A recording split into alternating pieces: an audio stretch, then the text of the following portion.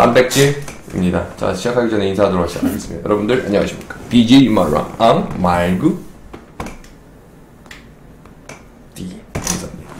네, 이제 여러분들 보충제에 대해서 말씀드릴 건데 이제 연차적으로 단백질 보충제에 대해서 말씀드리고요. 그 다음에 다음에는 오버 트레이닝 이제 뭐 좀 좀 더 좀 보충제 관련해서 좀 얘기 좀 해보려고 합니다. 단백질 단백질이란 무엇인가? 자 일단 모든 생물의 몸을 구성하는 고분자 유기물로서 예, 아주 많은 아미노산의 연결체입니다. 아미노산은 이제 수십 개가 있어요. 여러분들이 알고 계시는 BCAA가 이제 아 그거는 branch branch amino acid라 그래서 그것은 이제 어, 분지 사슬 아미노산인데 그거 빼고도 이제 필수 아미노산 이제 어뭐준 아미노산 굉장히 많은데 일단은 그 아미노산들이 이제 합성이 되면 이제 단백질이 되는 거예요. 아, 탄수화물이 분해가 되면 어떻게 됩니까? 포도당인데 포도당도 최종 단위가 아니에요. 최종 분해 단위가 아니고 그냥 일종의 어, 가장 기본 이제 단위죠. 이제 포도당들이 모여서 근데 포도당들이 나중에 에너지로 쓰이게 되면 나중에 이산화탄소나 이제 뭐 어, 뭐, ATP, 뭐, 에너지가 나오는 것이고요. 단백질의 최종이 아니고, 그냥, 일단 단백질을 구성하는 가장 기본적인 단위가 바로 아미노산인데, 이 아미노산이 이제 많이 모이게 되면, 이렇게 합성이 되게 되면 단백질이 됩니다. 그래서 여러분들이 단백질을 섭취하시게 되면, 소화기관을 통해서, 췌장을 통해서, 간을 통해서, 신장을 통해서, 아미노산이라든지, 아니면 암모니아, 이런 식으로 다, 이제, 분류가 되죠. 일단 단백질 보충제에 대해서 일단 말씀드릴게요. 단백질 보충제 어, WPC가 있습니다. 이건 농축 유청 유청 단백인데 말 그대로 농축 유청 농축 유청 해봐. 농축 유청 해봐. 농축 유청. 빠르게 시작. 농축 유청. 자 농축 유청. 네. 네 단백질인데 이건 치즈에서 분리를 합니다. 네, 치즈에서 치즈를 분리하다 보면 그 위에 맑은 액체 성분이 나와요. 아래 보면 유청 정리가 나와 있죠, 그렇죠? 우유를 치즈 우주에서 치즈를 만들 때 치즈가 이제 고체가 돼버리면서 위에 이제 맑은 이제 액체가 나오는데 그게 바로 유청이에요. 이 유청을 이제 유청을 가지고 이제 단백질을 만드는 것인데 대개 단백질 함량은요 80% 85%고요. 그, 그 중에서 그 유청에서 95%를 이제 떼는 거예요. 유청은 좀 단 거겠죠, 그렇죠? 유청을 95% 이상 제거하고요. 가격은 대체로 낮아요. 가수 분해를 이제 여러 번 하지 않고 이제, 이제 단순롭게 하기 때문에 가장 이제 가격이 쌀 수밖에 없어요. 그렇죠? 그다음에 WPI는 이제 분리 유청 단백이라 해서 말 그대로 유청을 이제 많이 분리한 거예요. WPC에서 WPC에서 이제 유청을 95%를 제거했지만 나머지 5%가 있잖아요. 그렇죠? 그 5%를 한 번 더 한 거예요. 그러니까 이 쌀로 얘기를 말씀드릴 것 같다면 쌀을 이제 여러 번 씻어, 씻어 보셨을 거 아니에요. 보이스카트 3사 같은 거 했었을 때. 씻었을 때 쌀뜨물이 나오잖아요. 그쵸? 여러 번 씻을수록 점점 이제 쌀뜨물이 안 나오고 맑은 물이 나오는 것처럼 WPC 같은 것은 한 두 번 정도 닦았다 보시면 되는데 WPI는 세 번, 네 번, 다섯 번 이런 식으로 하는 거, 이런 식으로 이제 닦아냈다는 거예요. 더 많은 가수분해를 했다는 얘기죠. 그래서 단백질 함량은 이제 90%나 93%더 높아요. 게다가 유청 단백질은 98%가 제거되기 때문에 가격은 높을 수밖에 없어요. 왜냐? 가수분해를 많이 했기 때문에 기계를 많이 돌렸잖아요. 그 다음에 이것의 장, 가장 큰 장점은 바로 윤회 불나, 불, 불내증이 있으신 분들에게 좋아요. 당이 그러니까 그러니까 당을 소화 못하는 게 아니라 우유당, 유당을 이제 소화를 못하는 거예요. 유당. 유당을 소화를 못하시는 분들에게는 WPI를 드시는 게 좋죠. 그 다음에 이제 WPH 여러분들이 많이 들어보실 수도 있겠지만 이것을 많이 섭취해 보시지는 못했을 거예요. 왜냐면 가격대가 어마어마하거든요. 일단 이거 가수분의 유청 단백으로 하, 가수분의 유청 단백. 야 이거 진짜 발음 안 되냐? 해봐 다시 말해봐. 금화? 가수분의 유청 단백. 가수분의 유청 단백인데요. 이건 치즈에서 분리 가동된 단백질을 여러 번 또 분리한 거예요. 무슨 얘기냐면 어, WPH 같은 경우에는 그 유천 단백을 엄청나게 가수분해 많이 한 거죠. 그러니까 이거예요. WPC를 WPC처럼 가수분해를 많이 한 거예요. 이게 헷갈리시면 안 돼요. 자, 가장 기본적인 WPC잖아요. 그쵸? 이것을 한 번 더, 두 번 더 가수분해한 것이 바로 WPI고, WPC처럼 그러한 이제 제작 과정을 여러 번 거쳤을 때가 WPH가 되는 거예요. 나중에 WPHI도 있어요. 근데 그것은 이제 좀 없는 개념이라고 생각하시면 되고 다 이렇게 생각하시면 돼요. 보세요. 자, 이게 우유야. 우유예요. 자, 봐봐. 너, 너, 얘가 이해하면 여러분도 이해해야 돼요. 자, 여기서 한 번 가수분해했어. 그러면 WPC, WPI, WPH 중에 뭐야? I.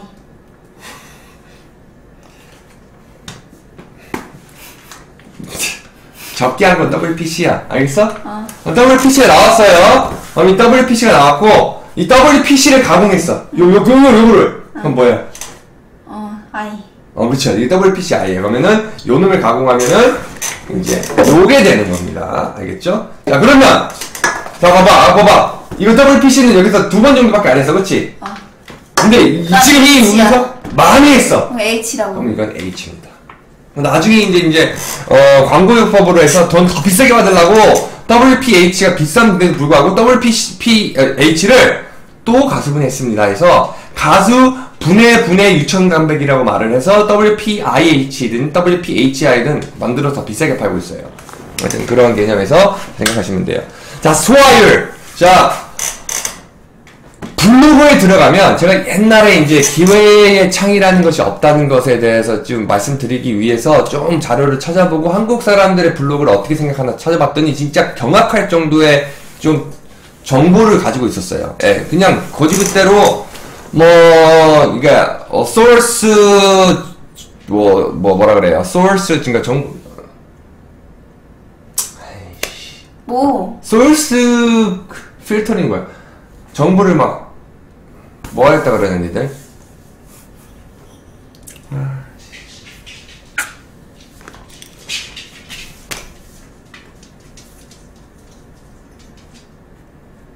어, 소스 체크, 그렇죠. 소스 체크에. 그것을 안 하고 그대로 가지고 왔더라고요. 여기 보면, 자, 여러분들이 경악할 수준의 이제 내용이 있습니다. 여러분들이 이제 배우시는 거예요. 자, 일단은 뭐 단백질 포함도 뭐 35% 있을 수가 있어요. 뭐 이거 치고 87%, 뭐 95%가 있는데 중요한 건 뭐냐면 96%라고 해놨습니다. 그쵸? 근데 돌아가 볼까요? 오히려 WPH는요, 90%를 넘지가 않아요. 근데 여기서는 96%라고 좀 더 WPH를 높게 평가하고 있어요. 굉장히 아이러니하죠. 자, 근육 흡수도 보시면 WPC부터 WPI, 그 다음에 WPH 보면 소화율 자체도 지금 이런 식으로 나눠주고 있어요.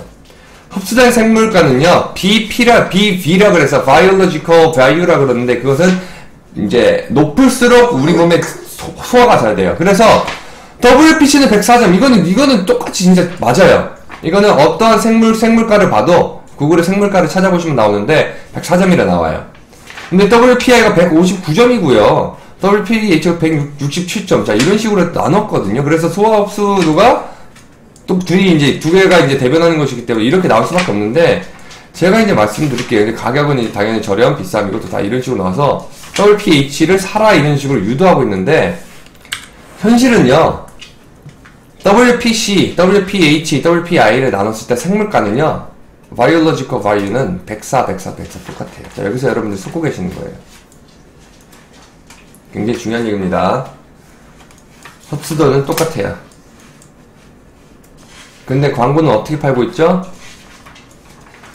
비싼 것이 더 소화율이 좋다. 그래서 비싼 걸 먹어라 라는 얘기가 나옵니다. 아이러니 한 거죠. 그쵸? 그 다음에 이제 뭐 프로틴 함유량은 82%, 80%, 뭐92% 나오는데 중요한 건 지금 여기는 WPH예요. 보시면 단백질이 80%밖에 안 되죠? 오히려 WPC보다 적은 거예요. WPI가 가장 높을 수밖에 없고요. 근데 이러한 광고 자체를 그냥 퍼가지고 블로그인들이 뭐 이게 더 좋다 그래서 이런 식으로 설명을 하게 되는데 이런 식으로 하게 되면 보는 사람들 입장에서는 굉장히 잘못된 지식을 가질 수밖에 없죠. 그렇죠? 그러니까 누구 뭐 저도 굉장히 모자 부족하고요. 저도 노력을 해야 되는데 누군가가 나를 통해서 모토가 내가 모토가 되고 나를 통해서 무엇인가 배운다고 했을 때는 정말로 소스 체크가 굉장히 중요해요. 근데 이것은 굉장히 잘못된 얘기를 하고 있죠. 단백질 펌드 자체도 그냥 꽝이고 흡수한 생물들 자체도 꽝이란 얘기예요. 자, 일단은, 어, 어, 바이올로지 같은 관련된 생물가의 단백질 소화도를 얘기하는데, 일단 같고요 여러분들. 같고, WPC랑 WPH라는 단백질 순도가 비슷하고 대신에 WPI가 제일 높아요. 가격대는 아이러니하게도 요 놈이 가장 WPH가 가장 높죠. 왜 그럴까요, 대체? 광고에 광고 효과예요, 광고 효과. 그러니까 이거예요. 이렇게 이렇게 생각해 봅시다. 아가, 아가, 네. 14K, 16K, 18K가 있어. 응? 네. 근데 14K를 더 가공해서 더 좋은 기계로 가공해서 더 순도 높은 24K로 만들었다. 음. 그럼 기존에 있던 24K보다 이런 식으로 과장을 해서 광고를 해서 만든 24K가 더 비쌀까 쌀까? 가공하면 더, 더 비싸지. 그치. 그렇게 꼬드기는 거예요. 근데 실질적으로는 성분 자체는요, 더 가공을 했기 때문에 더 좋진 않아요. WPH의 이제 여러분 진실을 알 수가 있는 거죠. 일단 카제인 단백질은 제가 나중에 하도록 할게요. 오케이? 저 어디 어디 뭘 뭘 보고 싶어요? 콜레스테롤 차이가 많이 날 수밖에 없죠. 콜레스테롤 차이는요, 이거는 우유기 때문에 높은데, WPI는요, WPC를 갖다서 다시 가분해, 가수분해한 것이기 때문에 굉장히 낮아요. 근데 이제 제가 이제 장단점을 좀 이따 설명해 줄 테니까, 이 성분 자체는요, 여러분들이 나중에 좀 멈춰보시고 확인해 보시고, 그렇게 크게 중요한 건 아니고, 왜 WPI가 콜레스테롤이라고 적는지, 왜냐면 탄수화물 없어서 그래요. 탄수화물. 오케이? 이건 제가 나중에 설명해 드릴게요. 그것만 빼고는 다 차이가 없어요. 아, 단백질 복용법이에요. 단백질 복용법이 가장 중요합니다. 이거 무엇을 먹는 게 중요한 게 아니고 언제 먹는 게 가장 중요하다는 얘기가 나올 정도로 복용법이 제일 중요해요. 하지만 어, 제가 생각했을 때는 총괄량이 제일 중요합니다. 하지만 가장 효율적으로 드실 수 있는 방법을 제가 설명해 드리려고 그래요. 일단 체중의 평균 1g 내지 2g을 계산하시는 게 좋아요. 제가 보는 논문에서는 일반인들, 혹- 그러니까 초보자분들은 자기 몸무게의 단백질 한 2g 내지 2.5g을 더 먹어야 된다는 얘기를 해요. 그러니까 대개 이제 떠도는 얘기를 들으면 초보자들이기 때문에라는 얘기가 굉장히 많아요. 초보자들이니까 단백질 먹으면 안 돼. 초보자들이니까 보충제 맞으면 먹으면 안 돼. 왜냐면 소화가 안 되니까. 초보자들이니까 더 절, 더 적게 먹어야 돼. 소화율이, 소화율이 좋지 않으니까. 초보자들이니까 해서 국한되는 게 굉장히 많은데, 인간은 똑같습니다. 신생아와 어른의 차이가 아니, 아니고서야 어른들끼리는 소화율이 똑같아요. 그런데, 단백질 동화라는 것도 틀린 얘기이기 때문에, 초보자들을 보면, 그러니까 예를 들어서, 이렇게 생각해 보면 돼요. 정말 소화율이 존재를 한다면, 운동하지 않는 A라는 사람과 운동을 꾸준히 했던 B라는 사람 중에 소화율이 누가 더 높겠습니까? 무조건 소화율 높은 B, B 사람이 더 높겠죠. 아니, 아니, 운동을 많이 한 B 사람이 높겠죠. 계속 단백질을 꾸준히 섭취했을 테니까. 한 반대로 생각해야 돼. 요 이걸 역학적으로 생각해야 돼요. 그러면 A라는 사람이 B처럼 근육 동화가 일어나려면 창이 적기 때문에, 구멍이 적기 때문에 이 사람이 아예 먹으면 안 돼요. 그런, 먹지 말라는 말은 절대 있을 수가 없어요. 이 사람은 더 먹어줘야 돼요. 그러니까 제가 보는 논문에서는 이제 제가 이제 여기서는 이제 스크랩 안 해왔는데 논문에서는 운동하는 사람보다 운동 안 하는 사람이 단백질을 더 많이 먹어야 된다는 얘기를 해요. 거기서도 단백질 소화율에 대해서 말을 하고 있는 거예요. 초보자들이기 때문에 단백질 소화율이 낮다. 그러므로 단백질을 더 많이 먹어줘야만 단백질이 운동한 사람만큼 동화가 된다. 이런 얘기가 나와요. 그런데 여기서는 말 그대로 그냥 수치만 말해줄 뿐이지 단점이 분명히 존재할 거예요. 그냥 많이 먹기 때문에. 뭐다? 단백질은 우리 몸에 들어오면 소화, 아니, 배충이 안 돼요, 여러분들. 오케이? 여러분들이 단백질 보충제를 먹고 설사하는 이유는 여러분은 말 그대로 유당, 우유에 들어있는 당을 분해를 못하기 때문에 설사가 나오는 것이지, 단백질이 나오는 게 아니에요. 단백질은 똥으로 안 나옵니다, 여러분들. 단백질은 필요한 곳에 사용되고 필요한 곳이 없다면 체지방으로 이제 다시 들어가기 때문에 단백질 다이어트는 굉장히 위험한 것이고요. 그렇기 때문에 초보자분들은 더 많이 먹는 것이 사실일지언정 단점이 반드시 존재하기 때문에 여러분들이 나는 많이 먹을까 적게 먹을까는 조절하셔야 되는데 복용법의 가장 큰 기준법은 일단은 대개 어떤 나라든 간에 자기 몸무게 1g 내지 2g을 계산을 해요. 80kg면 160g 정도는 먹어줘야 돼요. 운동하는 사람이라면. 운동하지 않으면은 1g으로 계산하시면 됩니다. 그러면 160g을 먹어야 돼. 그럼 계산을 해요. 내 일반식에 뭐 치킨을 먹었느냐, 계란을 먹었느냐, 아니면 다른 뭐 식물 단백 식물성 단백질을 먹었느냐 계산을 해서 나머지를 빼! 그러면 만약에 여러분들이 60g 정도를 먹었으면 100g이 필요한 거예요. 어디서? 보충제로도 사용할 수 있겠죠. 아, 그 보충제 거기서 나머지 100g이지, 100g이든 뭐 80g이든 적게는 뭐 30g이든 그 복용법 어떻게 하는지 말씀해 드릴게요. 어, 일단은, 아, 지금 이게 좀 뒤로 왔어요. 예, 이게 좀 지금 보여주고 싶었는 건데, 어, 말 그대로 아까 저 biological value에서 이제 생물가죠? 이제 소, 단백질 소화도를 말하는 건데요. 지금 whey protein 같은 거 104예요. 그 다음에 계란 같은 경우에는 88이나 100. 그리고 계란 같은 거 먹는 게 굉장히 좋다는 거예요. 소화가 굉장히 빠릅니다. 카제인 같은 경우에 좀 느리고요. 느리죠. 그래서 우리가 먹는 거죠. 그렇죠? soy protein 이건 단백 이제 그 대두 유청 아니 대두 단백질인데 이거는 뭐 패스하고요. beef 단백질도 좀 패스를 하고 뭐 이제 뭐 나중에 뭐 wheat 같은 경우도 좀 낮은데 뭐 상관은 없어요. 그래서 그런 얘기고요. 어, 넘어갑시다. 자, 시기는 언제 먹는 건가? 일단 운동하는 날을 일단 봅시다. 운동하는 날과 운동하는 전날과 이제 좀 틀려요. 언제든 먹어도 괜찮아요. 일단 여기서 오해하지 마세요. 언제든 먹어도 괜찮아요. 한꺼번에 먹어도 상관없습니다. 가장 효율적인 흡수 양은 30g이긴 맞아요. 하지만 여러분들이 50g 먹었든 70g 먹었든 일단은 30g을 효율적으로 소화할 뿐이지 나머지 40, 50 먹었던 그만큼 양은 천천히 분해가 되기 때문에 상관없어요. 그러니까 아직 지금은 우리가 여기서 말하고자 하면 효율이에요, 효율. 효율을 얘기하고 있는 겁니다. 운동하는 날에는 운동 2시간 전이나 1시간 반 정도의 탄수화물과 단백질, 그 다음에 유신을 같이 드셔주세요. 제가 누누이 말씀드리고 있는 천연적인, 여러분들 천연적인, 어, 부스터예요. 천연 부스터. 유신 같은 이제 필수 아미노산, 이제 그것을 이제 EAA라 그래. Essential Amino Acid라 그러는데 EAA 중에 류신 같은 아미노산이 탄수화물과 단백질과 같이 섭취가 됐을 때 탄수화물은 인슐린을 끌어올리고요. 류신은 이제 MTOR, MTOR이라 그래서 단백질 동화가 시작될 거다고 시그널이 있어요. 그 스위치를 켜줘요. 탄수화물은 인슐린이라는 호르몬을 데려오고요. 류신은 류신은 스위치를 눌러요. 아 이제 단백질 동화가 될 거다라는 신호를 눌러줘서 단백질 동화가 일어난 도중에 단백질 30g 먹었을 먹었던 건 이제 준비가 되는 거예요. 이렇게 돼서 이게 단백질 근육이 되느냐 그게 문제가 아니고 일단 이 2시간 전에 먹게 되면 아미노산 수치가 높아집니다. 왜냐? 단백질이 분해가 되기 때문에.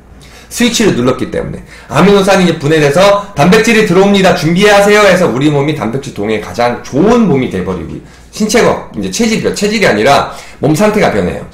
그 첫 번째, 두 번째 혈류량이 100%가 높아져요. 혹은 120% 무슨 얘기냐면 우리 몸의 혈류량은요 대체적으로 이제 우리 몸의 장기에 가만히 있으면 한 65%는 차지해요. 우리 장기가 필요하니까 혈액이 우리 근육이 아직 필요하지 않잖아요. 여러분 가만히 있으면. 근데 2시간 전에 운동을 하거나 아니면 2시간 전에 이렇게 섭취를 해주시면 이 장기에 있던 혈액 혈류량이 근육에 들어가요.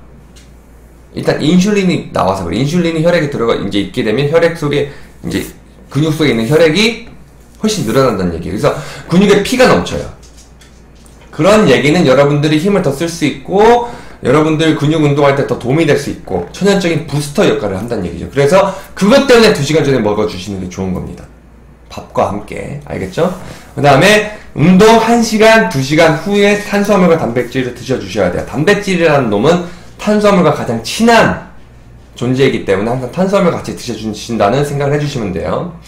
왜 1시간, 2시간 이후에 먹어요? 가끔 보면 여러분들 또 그런 광고가 있을 거예요. 기회의 창. 나중에 window of opportunity라고 해서 그냥 그것을 또 나중에 비판하는 강의를 할 건데 이 기회의 창이라고 하면 이제 이제 되게 광고나 아니면 여러분들 단백질 광고나 그런 뭐 통을 뭐 그, 그런 보충제를 보면 운동 확 시작하자마자 30분 이내에 드셔야 드셔야 된다. 안 그러면 운동하는 것이 뭐 도루묵이 된다. 뭐 전혀 도움이 안 된다 이런 얘기를 하잖아요. 기회창이라는 개념은 있긴 있는데 이것을 아직까지 입증할 수 있는 근거가 부족할 뿐더러 지금처럼 2시간 전에 먹게 되면 이미 아미노산 수치가 많이 높아져 있기 때문에 언제든지 먹어도 상관없어요. 그러면 다시 언제든지 먹어도 상관없다는 이러한 지금 개념 하에 왜 굳이 운동 끝나자마자 벌컥벌컥 먹느냐 여기서 단점 하나 말씀해 드릴게요. 아까처럼 우리 혈류의 이동이죠. 혈류의 이동.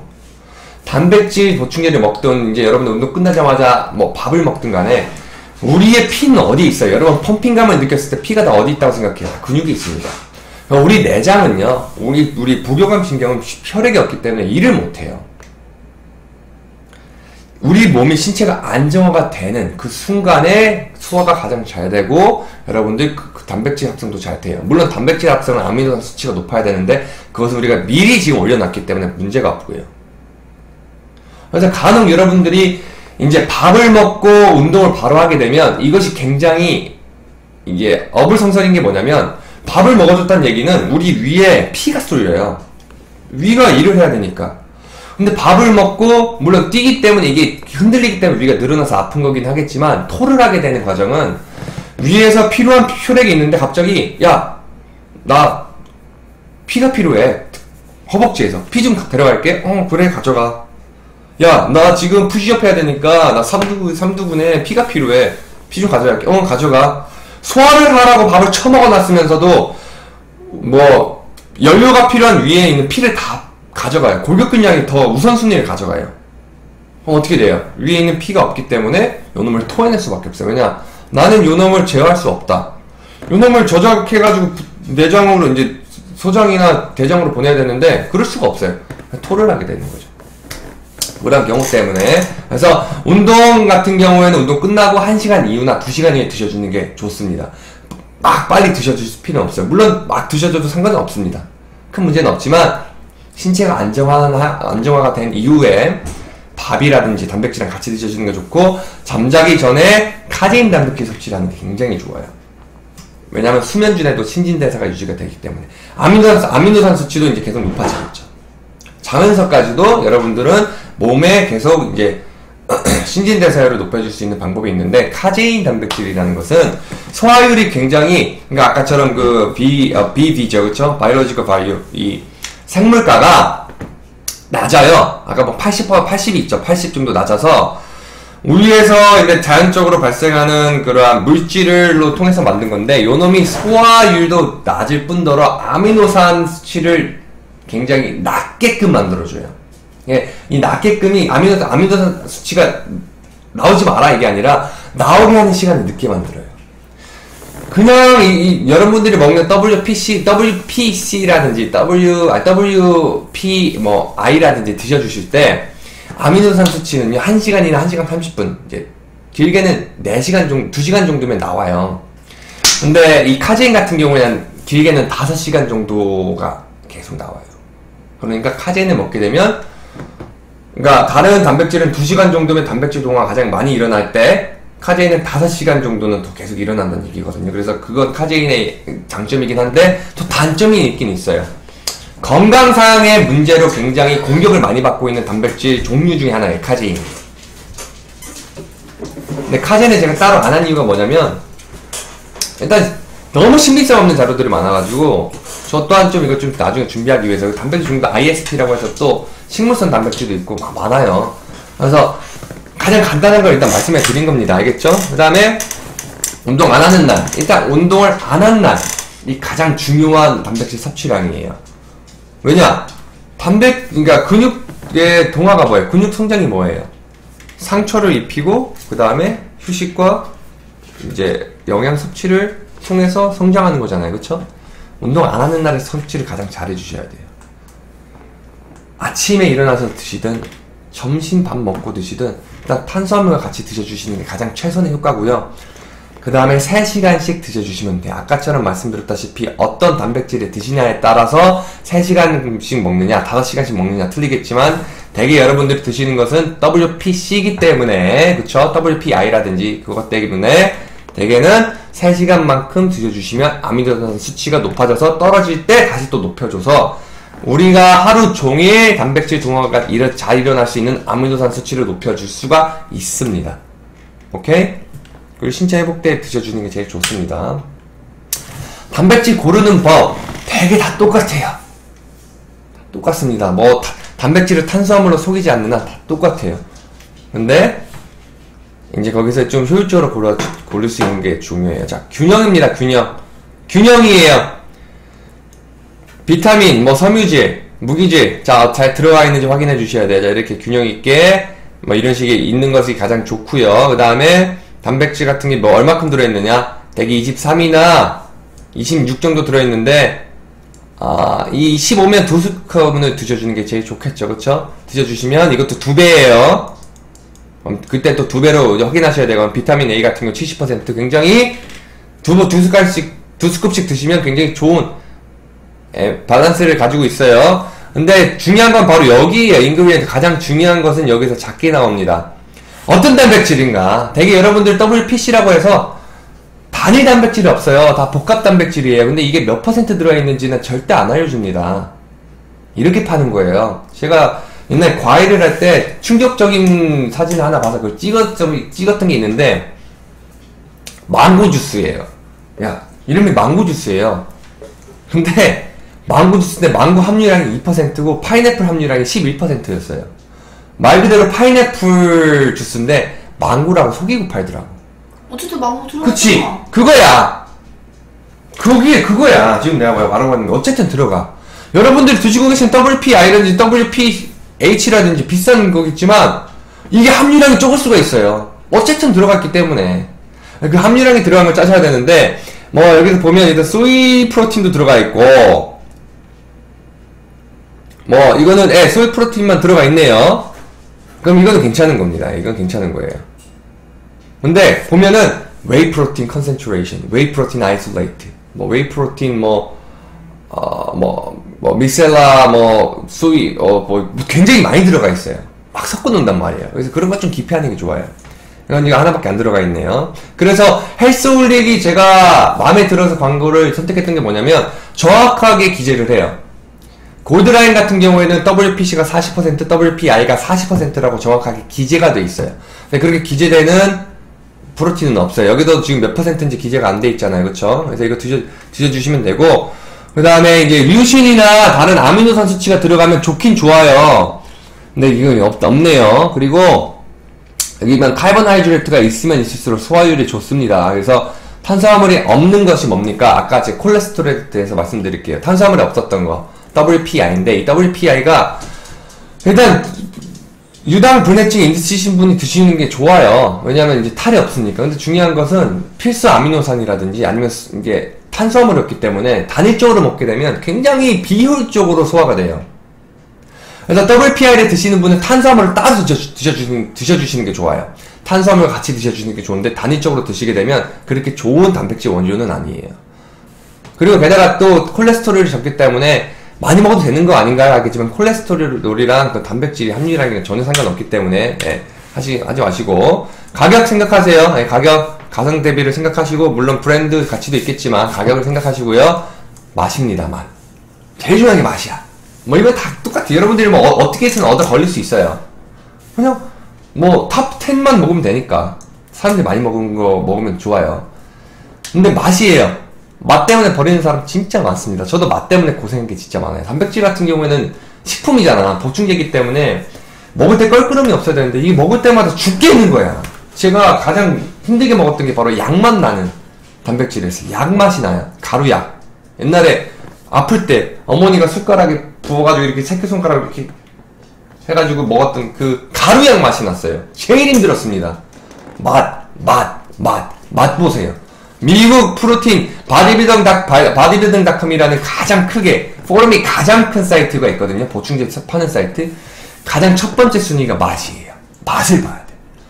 아시겠죠? 그래서 이 세 가지만 잘 보시면 괜찮고요. 그다음 WP, WPI는 아까 구분법을 말씀해 드렸으니까 그 둘 중에 정하시면 됩니다. 아, 제 조언은 이거예요. 네 자신을 알아야 돼요. 말 그대로 내가 윤회 불내증이 불내증이 있어서 설사를 하는지 내 소화 능력이 어떤지 내가 버는 재정이 어떤지 만약에 나는 돈이 좀 많다. 회장님 같은 경우에는 WPI를 드시는 게 개 이득입니다. 저는 WPC만 죽어라 먹어야 됩니다. 띠바. 니들도 WPC나 죽어라 먹어라. 알겠냐?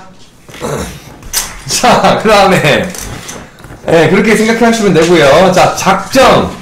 작정 3일. 꺼지세요. 진짜로. 단백질 쌓아둘 거 꺼지세요. 그 사지 마. 한 통 무조건 비울 때까지 드셔야 돼요. 아시겠습니까? 안 그러면 소용이 없어요. 오늘 먹고 3일 후에 먹고 뭐 10일 후에 먹고 아 띠바 왜 단백질 안 되지? 왜 나는 근육 근육이 안 생기지? 거기다가 댓글 달지 마세요. 니들 그냥 니들 틀려 틀려 쳐먹었어요. 자 보충제는 말 그대로 보충제 약이 아닙니다. 그런 분 많지 그런 분들 많잖아. 아 저거 다 이- 단백질 약 먹고 그런 거야. 그런 사람한테 빨리 내기거든요. 내가 100만 원 줄게. 단백질 나 세 통을 선물해 줄게. 단백질 처먹고 근육 만들어지나 봐라. 돼지 돼 버립니다. 왜냐면 체지방으로 가기 때문에 약이 아닙니다. 보충제는 보충제. 식품이에요. 식품. 아시겠어요?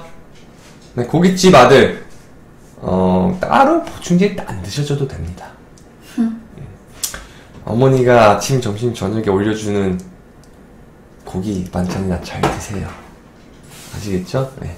자연식이기 때문에 자연식으로 계속 먹어왔던 몸이기 때문에 훨씬 더 단백질 동화가 잘 일어나 잘 일어나고요.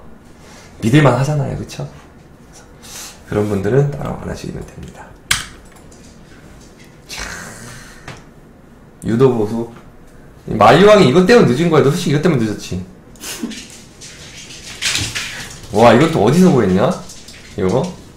나왔지. 따왔어? 어. 근데 아무도 안 쓰잖아. 언젠가는 눈물 난다. 우리의 노력을 기, 얘기해 줄 거야, 작수 한번.